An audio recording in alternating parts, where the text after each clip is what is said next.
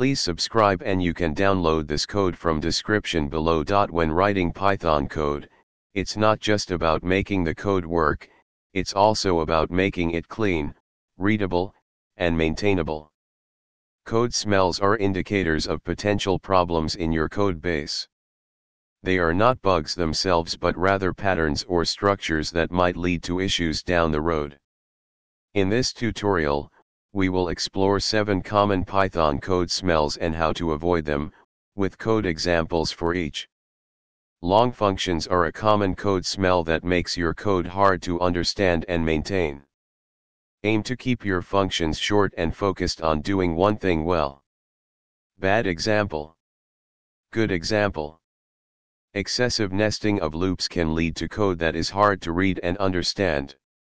Try to limit the depth of your loops. Bad example. Good example. Functions with too many parameters are difficult to use and test. Consider using keyword arguments or grouping related parameters into a data structure. Bad example. Good example. Repeating the same code in multiple places is a sign of poor code organization. Create reusable functions or classes to eliminate duplication. Bad example. Good example. Complex conditional statements can make code hard to read and prone to bugs.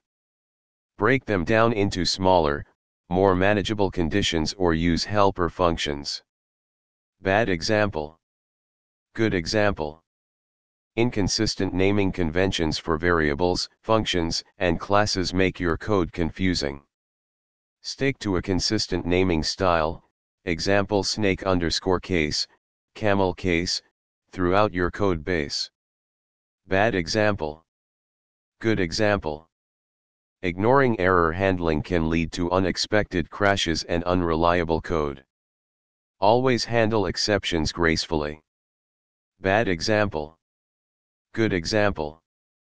In conclusion, by recognizing and addressing these seven code smells in your Python code, you can improve its readability, maintainability, and overall quality.